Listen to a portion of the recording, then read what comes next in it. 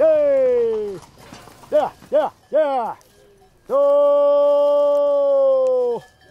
Maintenant on est à Vico.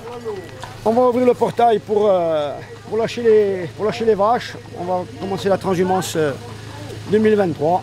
Tous les ans, on transhume là au, printemps, on transhume les bêtes sur les pâturages d'été. quoi. Elles, ont toujours été habituées à transhumer et, là, quand la saison arrive, les vaches elles, elles partent, elles, elles montent dans les, dans les estives, elles sont, elles sont bien, l'herbe est fraîche, l'été fait trop chaud là.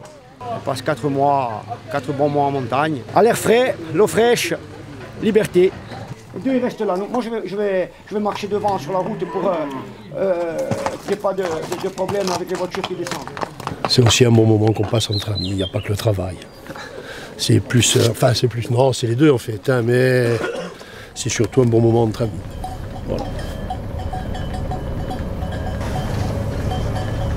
Mais là, je vois qu'elles ont, elles, montent euh, à une allure. euh, Elles ont envie de rejoindre les pâturages d'été. hein.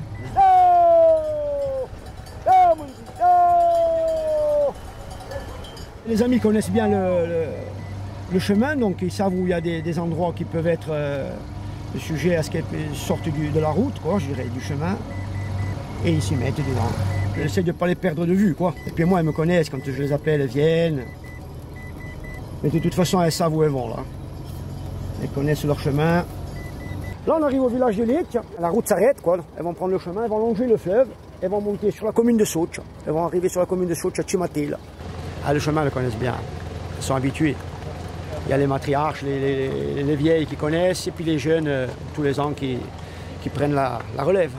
C'est des troupeaux qui ont, de mon grand-père, mon père, je veux dire, on a toujours élevé dessus, je veux dire, et les, bêtes, euh, automatiquement, je veux dire, il y a le renouvellement qui se fait sur les estives, sur les pâturages d'hiver, sur les, transhumances. euh, c'est ancestral, chez, nous aussi, la transhumance, ça a toujours été, hein.